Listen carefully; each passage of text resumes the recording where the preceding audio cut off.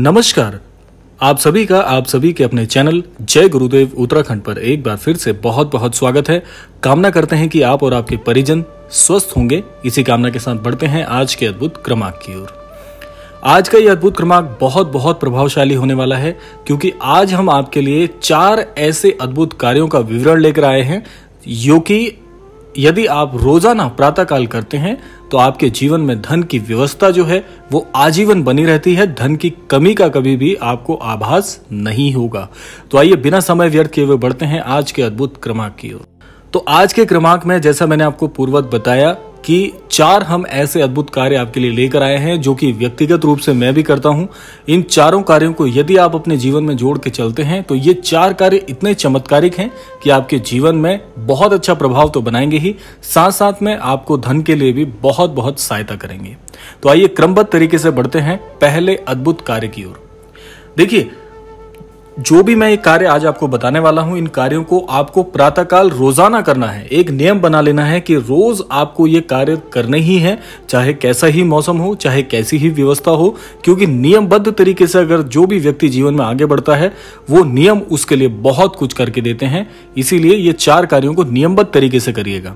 तो जो पहला कार्य आपको करना है, प्रातःकाल सबसे पहले अपने दिन की जो शुरुआत है, वो आपने नियमित रूप से अपने जो नित्य कर्म है, उनको करने के पश्चात सबसे पहला कार्य आपको यह करना है कि सूर्य देवता का आशीर्वाद लेना आपको बिल्कुल नहीं भूलना है। क्योंकि हमारे नवग्रहों के जो राजा हैं, वो सूर्य देवता ही हैं और सूर्य देवता को ग्रहों में सबसे उच्च स्थान प्राप्त है, राजा का स्थान प्राप्त है।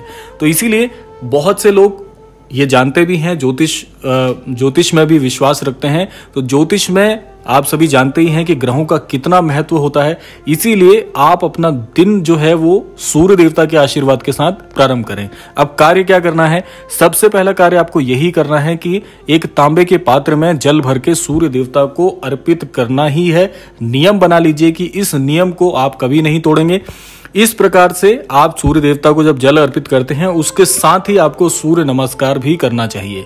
सूर्य नमस्कार करने से, सूर्य देवता को जल चढ़ाने से आपके जीवन में जो भी ग्रहों की स्थिति है, नकारात्मक प्रभाव है तो नकारात्मक प्रभाव बिल्कुल शून्य हो जाएगा। क्योंकि आप सभी जानते हैं कि सूर्य देवता राजा के स्थान पर होते हैं और राजा के राजा की जो बातें होती हैं, राजा को जो कहना होता है, वो हर कोई मानता है। तो इसीलिए आप अपने ग्रहों की शांति के लिए भी सूर्य देवता का आशीर्वाद ले सकते हैं। दूसरा, इसके साथ एक छोटा सा उपाय आपको और करना है, एक छोटा सा प्रयोग और करना है आपको कि जब आप सूर्य देवता को जल भी अर्पित कर चुके होंगे और सूर्य नमस्कार भी कर चुके होंगे, उसके पश्चात एक कार्य करना है जो कि आपको पूरे दिन भर ऊर्जा से सराबोर कर देगा। कार्य यह है कि आपको कुछ क्षणों के लिए सूर्य देवता के समक्ष आँखें मूंद कर सूर्य देवता की जो ऊर्जा है, उनकी जो रोशनी है, उसको अपने चेहरे पर अनुभव करना है। इसको आपको कुछ देर के लिए करना है, जब तक आप इसको वहन कर सकते हैं। तो ऐसा आप प्रतिदिन करें और मैं आपको बता दूँ कि सूर्य देवता की जो ऊर्जा है, वो जब आपके चेहरे पर, आपके मुख के तेज पर पड़ती है तो आपका पूरा दिन आपको ऊर्जात्मक रखती है। तो ये हो गया पहला उपाय। इसको नियमित रूप से आप करके देखिएगा। आप मुझे कमेंट बॉक्स में अवश्य कमेंट करके बताइएगा कि आपके जीवन में कितना परिवर्तन आया।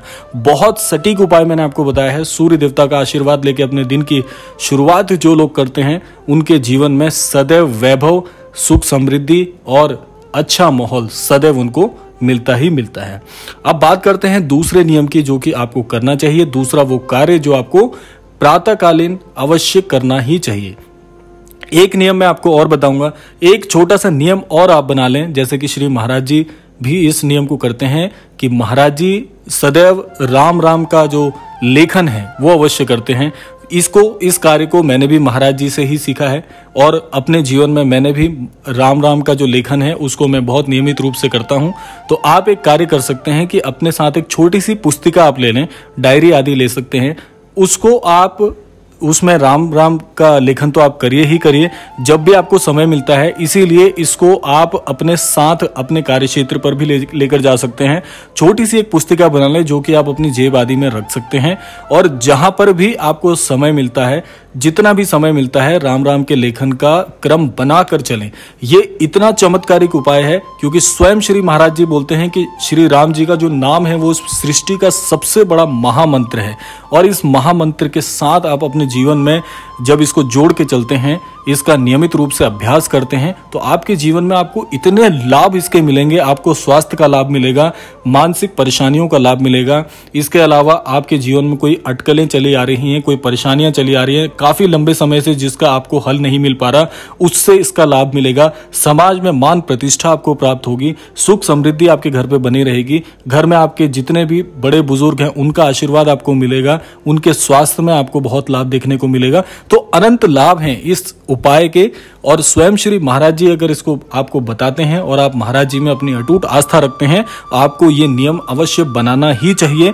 राम राम का लेखन आज से अभी से आप शुरू कर लीजिए। और ये पुस्तिका वाला जो उपाय मैंने आपको बताया, ये मैं भी व्यक्तिगत रूप से करता हूँ, अपने अनुभव से आपको बता रहा हूँ। तो आपके जीवन में बहुत अद्भुत लाभ आपको देखने को मिलेंगे। तो ये हो गए दो कार्य जो आपको प्रातःकालीन करने ही चाहिए। प्रातःकालीन लेखन का कार्य करने के बाद पुस्तिका को आप अपने कार्य क्षेत्र पर भी लेकर जा सकते हैं।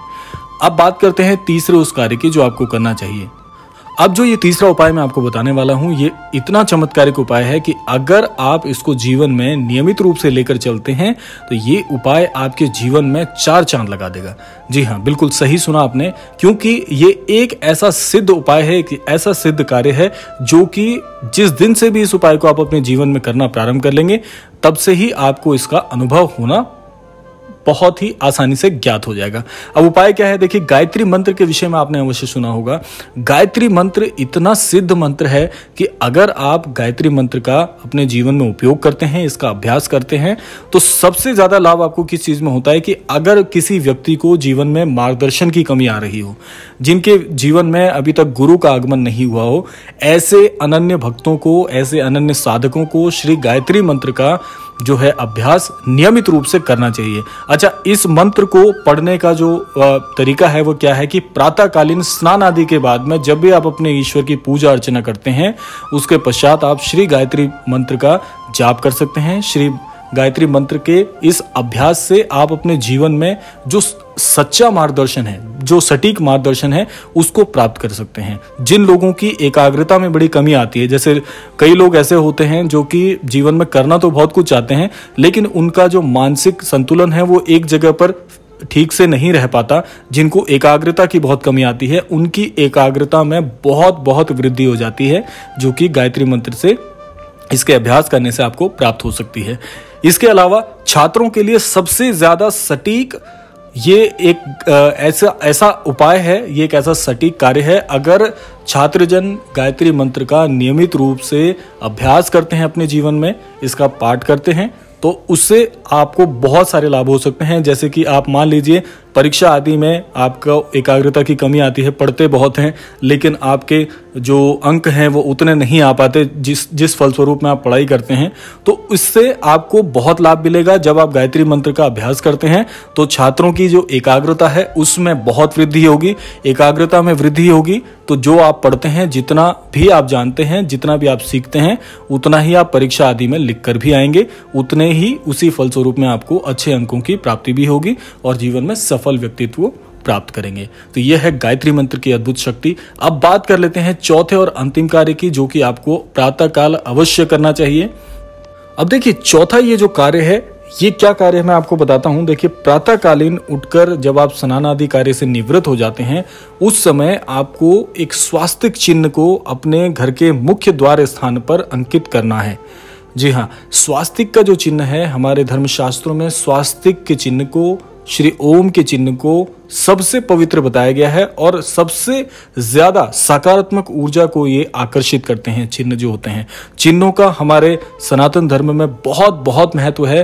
तो आपको क्या कार्य करना है कि आप लाल चंदन से या सिंदूर आदि से अपने घर के मुख्य द्वार पर स्वास्थ्य के चिन्ह को अंकित करें और अंकित करने के बाद, जैसे आज आपने द्वार पर इसका अंकन कर लिया, आपने इसको स्थापित कर दिया, उसके बाद आप एक चीज़ का ध्यान रखेंगे कि स्वास्तिक चिन्ह को आप एक तरह से पूजा विधि विधान में भी शामिल कर सकते हैं। इस चिन्ह को आपका जहाँ पर भी मंदिर स्थान है, वहाँ पर भी आप इस चिन्ह की स्थापना करें और इसकी, जैसे आप अपने इष्ट देवताओं की पूजा करते हैं, ऐसे ही धूप, दीप आदि से आप स्वास्थ्य चिन्ह की पूजा अर्चना करना प्रारंभ करें, क्योंकि ये इतनी सकारात्मक ऊर्जाओं को आकर्षित करते हैं आपके घर में, जो कि आपको धन समृद्धि और जो भी आपको धन से संबंधित कष्ट अब तक जीवन में चल रहे थे, वो सारे कष्टों से आपको मुक्ति दिलाते हैं।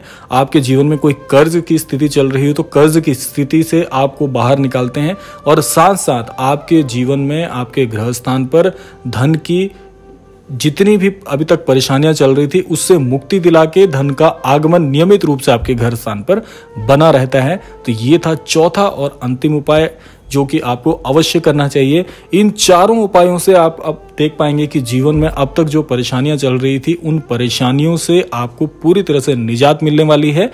और इसी प्रकार से इसको नियमबद्ध तरीके से अगर आप आजीवन के लिए अपना लेते हैं तो आप पाएँगे कि आपके जीवन के सारे कष्ट, किसी भी प्रकार के कष्ट होंगे, वो बड़ी आसानी से आपके ग्रह स्थान से कोसों कोसों दूर हो जाएँगे।